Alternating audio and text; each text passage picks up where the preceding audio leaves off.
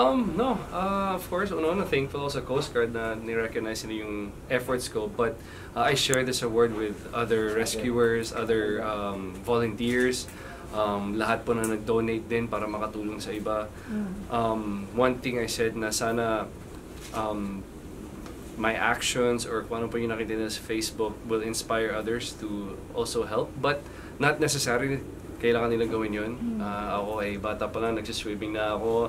I've undergone um, WASAR training, Water Search and Rescue. So, it's not something I'm encouraging other people to do. But there's always different ways eh, na maraming ibang paraan para makatulong. Medyo nakakatawa yung kwento. ah, nasa garahe kasi ako noon. And nakabukas yung garahe because nililiit pa po namin yung mga motor namin.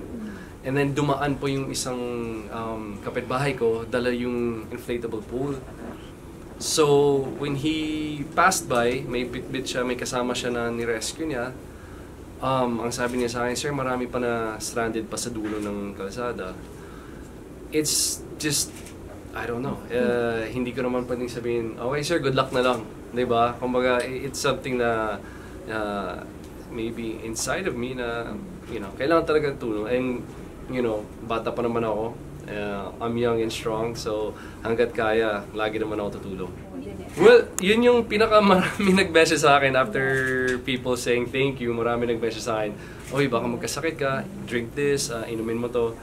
Uh, Siyempre, in the moment, hindi mo na iniisip yun. Uh, after, uh, aminin ko, iniisip ko talaga, um, like sina Julia, lagi, ako, lagi niya sinasabi na pumunta ako sa ospital, magpaturok, mag ano, um, you, you think about those things after na. Actually, nung day na yun, hindi kami magkausap eh, because biglaan kasi nangyari. Uh, nung nagkaroon ng, ng flood, ang bilis umangat, so I didn't, and syempre nasa tubig ako, so hindi ko hawak yung cellphone ko. Uh, I know she was uh, very worried, but, you know, um, wala eh. There's, um, may mga kailangan ng tulong, so, after, uh, magkausap kami.